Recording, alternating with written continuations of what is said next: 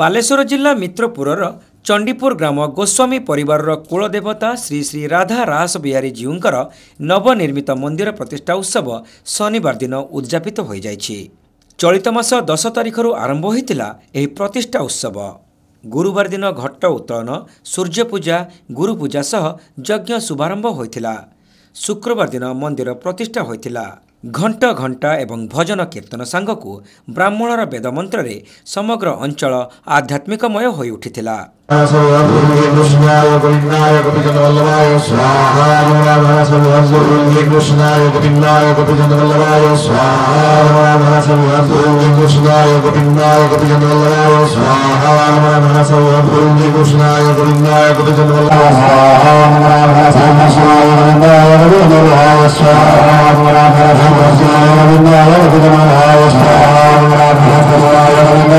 ପ୍ରତ୍ୟେକ ସନ୍ଧ୍ୟାରେ ଭକ୍ତି ସଙ୍ଗୀତ କାର୍ଯ୍ୟକ୍ରମ ଆୟୋଜିତ ହୋଇଥିଲା।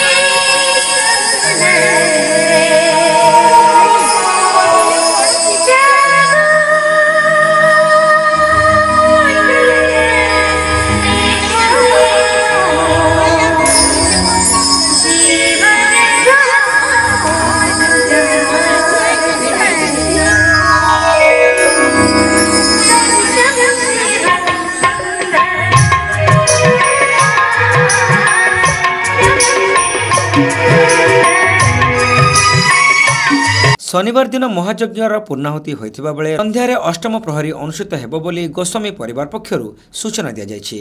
ତେବେ ଏହି ମନ୍ଦିର ପ୍ରତିଷ୍ଠାରେ ଚଣ୍ଡିପୁର ସମେତ ଆଖପାଖ ଅଞ୍ଚଳର ଶହ ଶହ ଶ୍ରଦ୍ଧାଳୁ ଯୋଗଦେଇ ଶ୍ରୀ ରାଧା ରାସ ବିହାରୀଙ୍କୁ ଦର୍ଶନ କରିବା ସହ ଆଶୀର୍ବାଦ ଭିକ୍ଷା କରିଥିଲେ। ଏ ମହାତ୍ମ୍ୟ ହେଉଛି ଏ ଠାକୁରଙ୍କର। ତାଙ୍କୁ ଯିଏ ଯାହା ମାଗେ ସେ ତାଙ୍କୁ ଦିଅନ୍ତି। କୌଣସିଥିରେ ସେ ଅପୂରଣୀୟ ରଖନ୍ତି ନାହିଁ।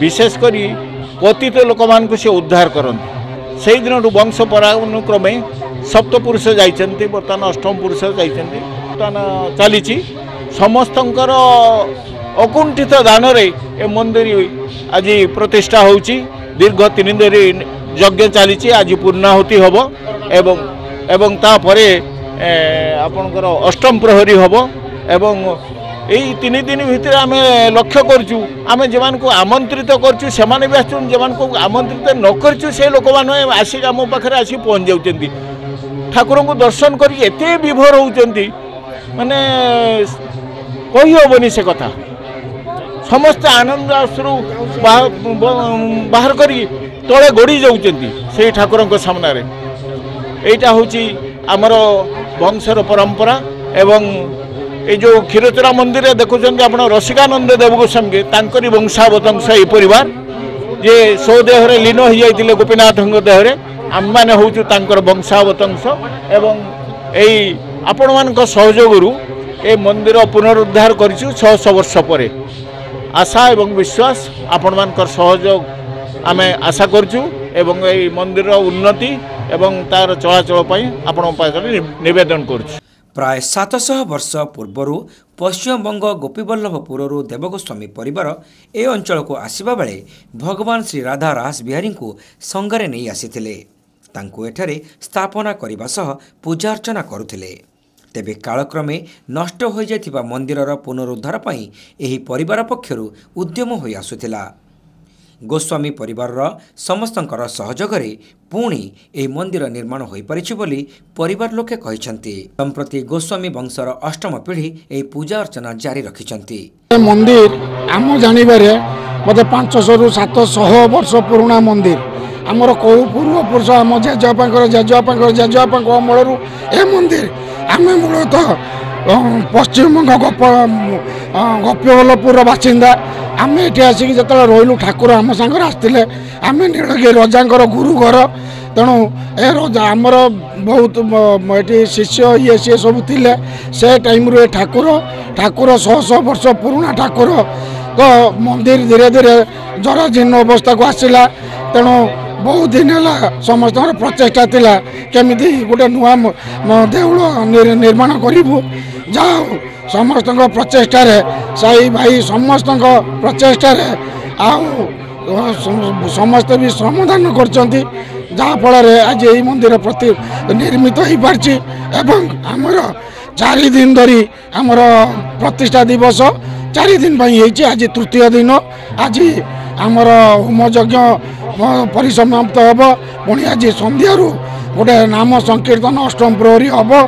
ଆଜି ପୂର୍ଣ୍ଣାବତୀ ଯଜ୍ଞ ଦିବସର ତିନି ଦିନ ତିନି ଦିନ ଧରି ଶହ ଶହ ଲୋକ ଆସୁଛନ୍ତି ଦେଉଳ ଦର୍ଶନ କରୁଛନ୍ତି ଯଜ୍ଞ ମଣ୍ଡପରେ ଅ, ଜୁହାର ହେଉଛନ୍ତି ମ- ଏତେ ଶ୍ରଦ୍ଧାରେ ଗଢ଼ି ହେଉଛନ୍ତି ରାଧା ରାସବିହାରୀ ଜୀଉ ସମସ୍ତଙ୍କର ମନସ୍କାମନା ପୂର୍ଣ୍ଣ କରିଥାନ୍ତି ବୋଲି ପରିବାରର ଲୋକେ କହୁଛନ୍ତି। ଗୋସ୍ୱାମୀ ପରିବାର ବର୍ଗଙ୍କ ସମେତ ଗ୍ରାମବାସୀମାନେ ବି ଏହି ଚାରିଦିନିଆ ଉତ୍ସବରେ ଯୋଗଦେଇ ନୂତନ ମନ୍ଦିରରେ ଶ୍ରୀଜୀଉଙ୍କୁ ଦର୍ଶନ କରି ଭାବବିହ୍ୱଳ ହୋଇ ଉଠୁଥିବା ଲକ୍ଷ୍ୟ କରାଯାଇଛି।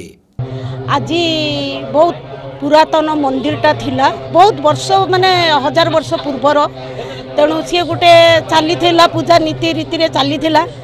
ଆଉ ଆଜି ଯେଉଁ ପ୍ରତିଷ୍ଠାଟା ହେଉଛି ସେଇଟା ରାସବିହାରୀଙ୍କର ଇଚ୍ଛା ଅଛି ଆଉ ଏଥିରେ ଏତେ ଖୁସି ମହଲ ଯେ ମାନେ ଗୋସ୍ୱାମୀ ପରିବାରର ସମସ୍ତେ ବନ୍ଧୁବର୍ଗ ୱିଥ୍ ଗାଁ ଲୋକ ସମସ୍ତେ କିଏ କୁଆଡ଼ୁ ଦୂର ଦୂରରୁ ଛୁ- ଛୁଟି ଆସୁଛନ୍ତି ଓ ସେ ହେଲେ ଅମରାନନ୍ଦ ଦେବ ଗୋସ୍ୱାମୀ ଯିଏକି ରାସବିହାରୀ ମନ୍ଦିରରେ ତାଙ୍କର ଗୋଟେ ଲେଟର ପଡ଼ିଥିଲା ତେଣୁ ସିଏ ସେଇଠୁ ମନସ୍ଥ କରିଥିଲେ ଯେ ମୁଁ ମୋର ଚାକିରି ପଇସାରେ ମୁଁ ଗୋଟିଏ ଗୋଟିଏ କରିକି ସଞ୍ଚିତ କରିବି ଆଉ ଏ ମନ୍ଦିରଟାକୁ ଭଲ ଭାବରେ ପ୍ରତିଷ୍ଠା କରି ନୂତନ ମନ୍ଦିର ତିଆରି କରିବି।